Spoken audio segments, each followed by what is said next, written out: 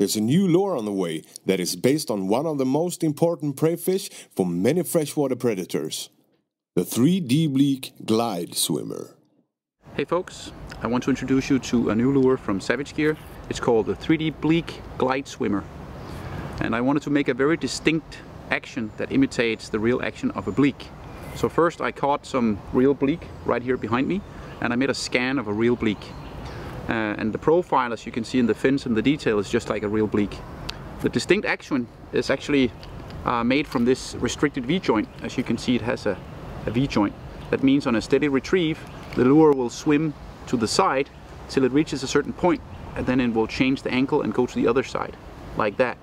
And it won't be a very soft swimming action, it will actually be like a bleak, the escape pattern, the movement pattern of a bleak. When you twitch or jerk the rod tip, the lure will shoot out to the side and you can make a very wide glide if you work the lure right. So the 3D Bleak Glide Swimmer, a great addition to the Savage Gear range.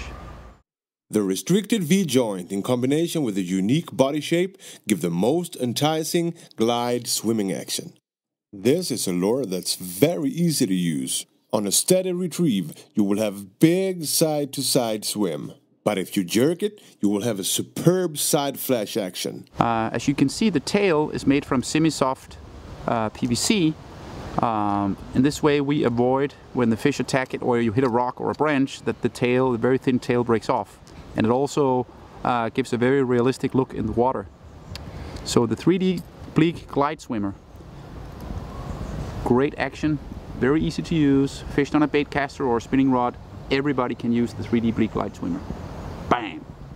The erratic and side-shifting action that is tuned to perfection will make even the most wary predator attack this lure again and again. It's deadly for pike, perch, bass, and uh, yeah, you name it. The Savage Gear 3D Bleak Glide Swimmer.